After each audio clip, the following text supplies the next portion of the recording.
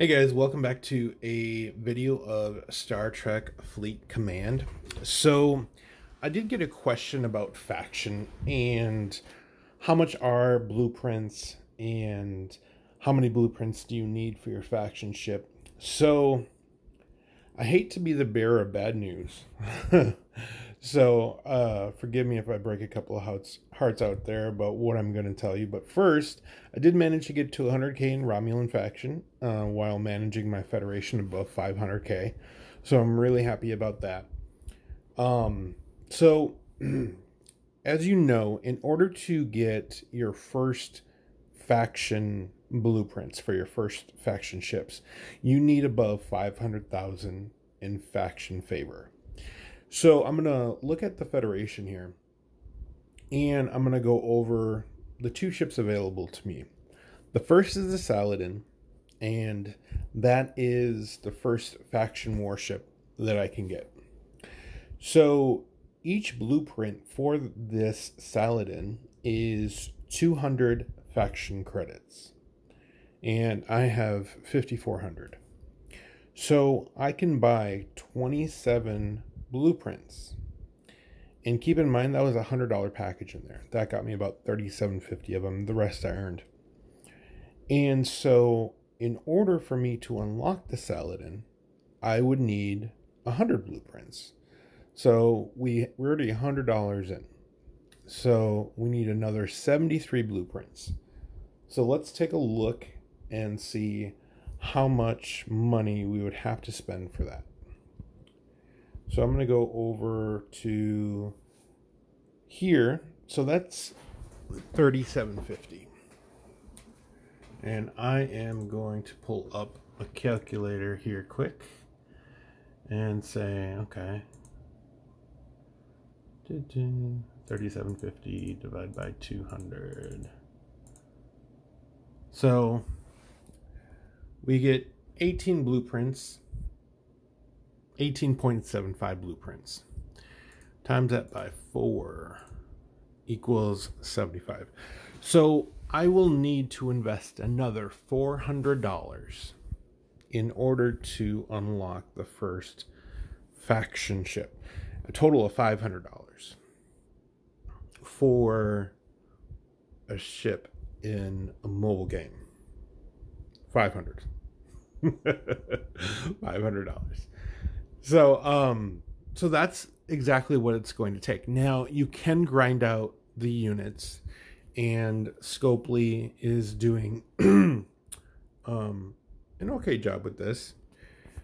Actually, let, let me go over to my my federation. That'll that'll be better.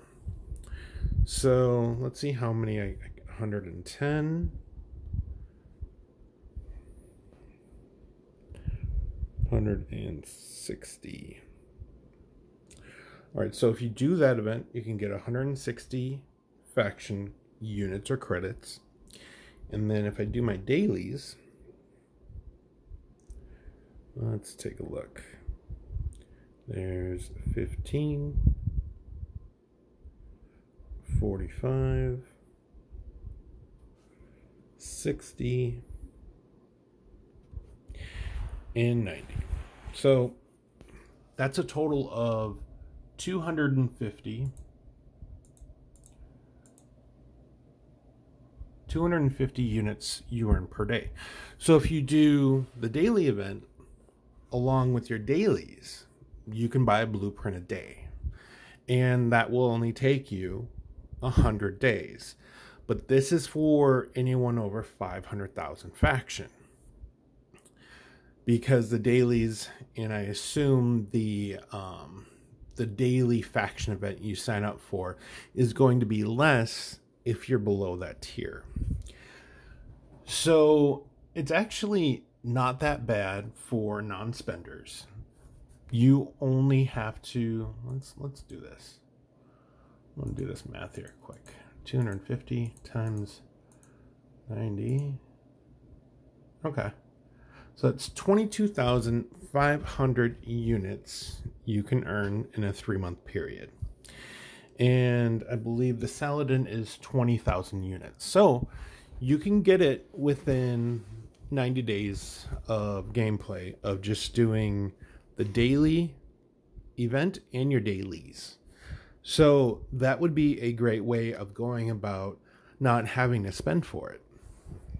Problem for me running dual factions, it's hard because the more Federation stuff I do, the more favor I'm going to lose from the Romulans.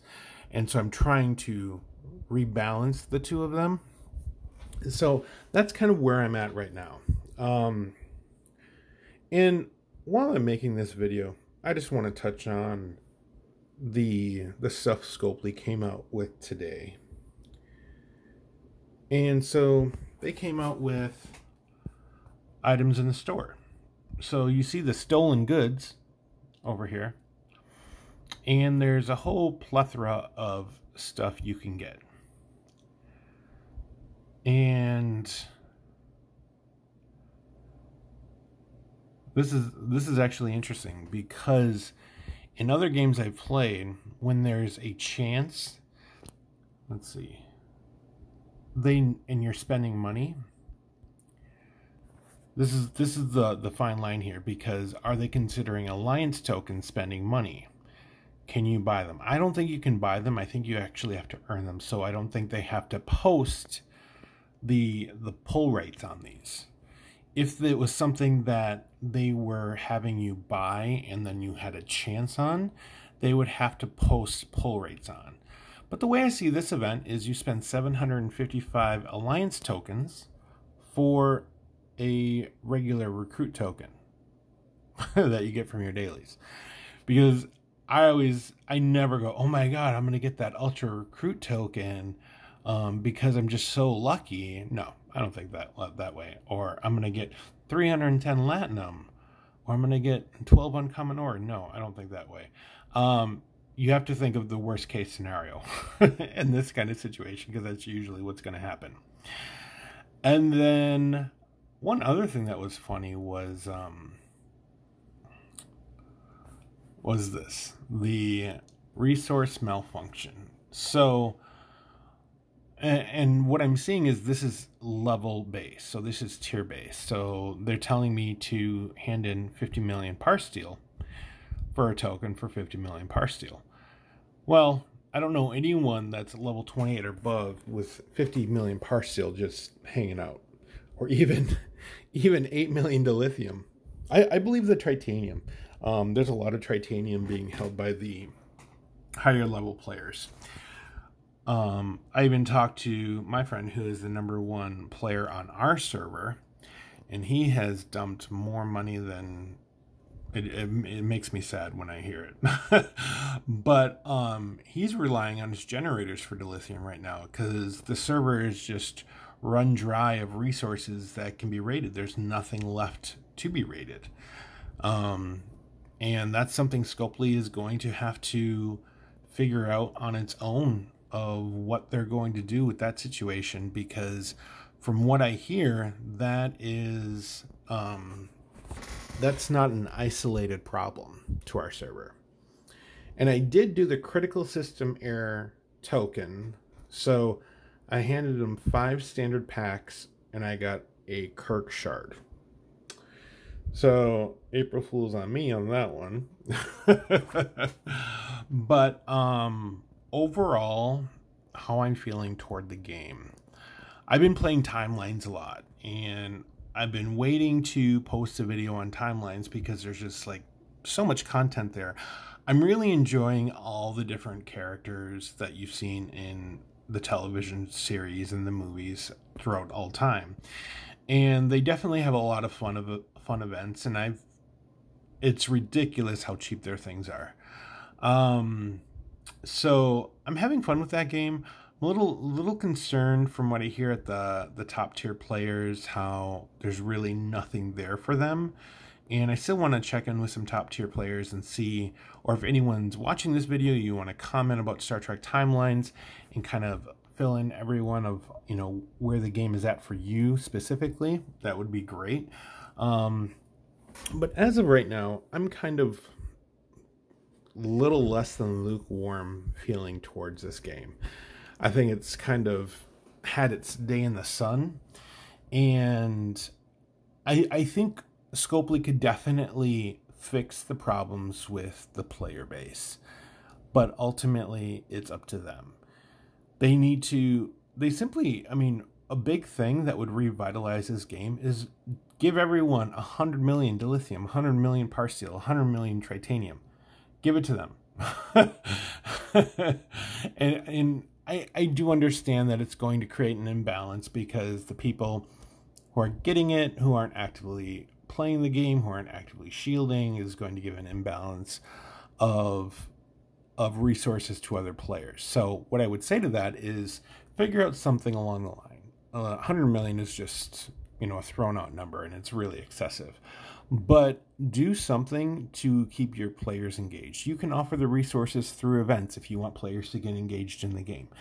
However, like I've said before, I can't I can't think about even spending any money towards this game because there is no game.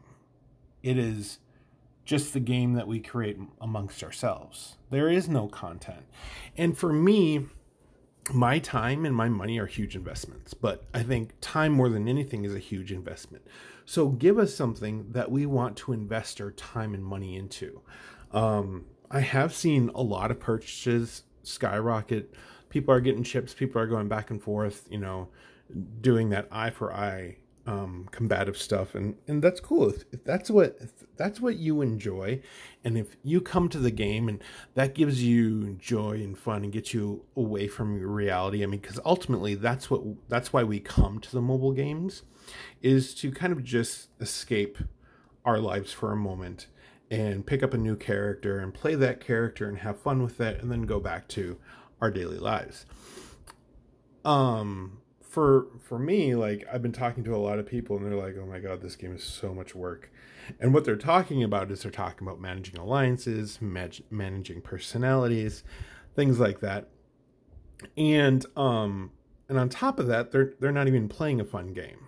So a lot of us have been branching out into other star trek games. I've been uh, even branching out to um, marvel contest of champions and I've been having a lot of fun with those games. Um, definitely want to make some videos. Um, I made one video before about um, Alien Domain, which I think is definitely um, a good amount of fun, and there's really no spending involved in that game. So I will continue to post videos. Um, I'm still playing Star Trek Fleet Command, still talking to my friends um, on the game, but I I definitely have legitimate concerns about the future of this game going forward. So um, I hope everyone takes care of themselves, be kind to one another, uh, comment below, like and subscribe, and I will talk to you guys soon.